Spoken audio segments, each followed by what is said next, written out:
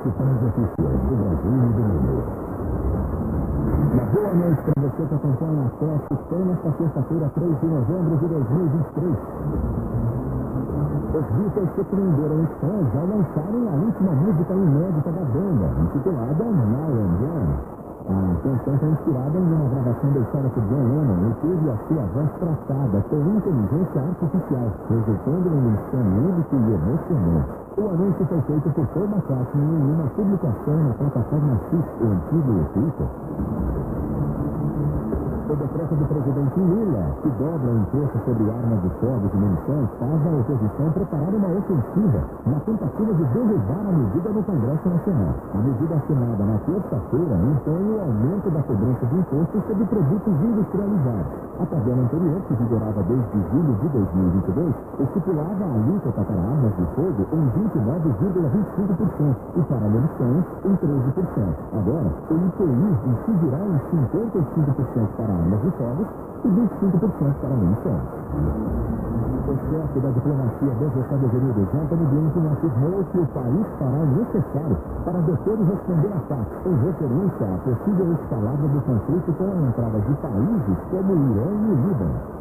Blinken visita Israel pela segunda vez desde o início da guerra. E dessa vez o foco da visita será a proteção de civis palestinos na faixa de Gaza. Acessar esse site continuar bem informado. Headline. As principais notícias do Brasil e do mundo.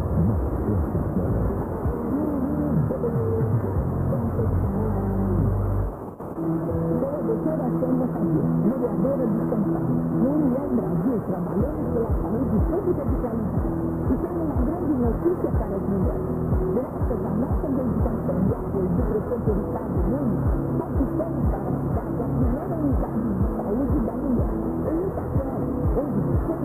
mulher, será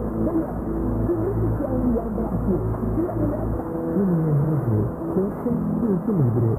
Você quer viajar e não sabe por onde começar? Então chegou a hora de aprender. A Marvel, temos o perfil Como Ousar Viajar. Já conhecemos mais de 30 países e vamos te ensinar os segredos para viajar gastando pouco. Em nosso país, os mais médios têm estratégias para que as suas próprias viagens sejam menos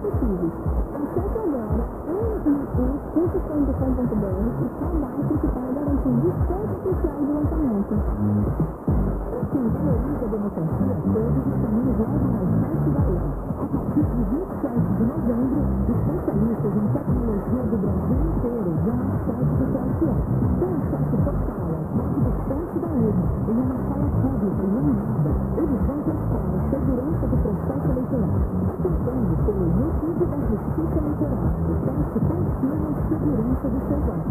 TSE, o tribunal da democracia.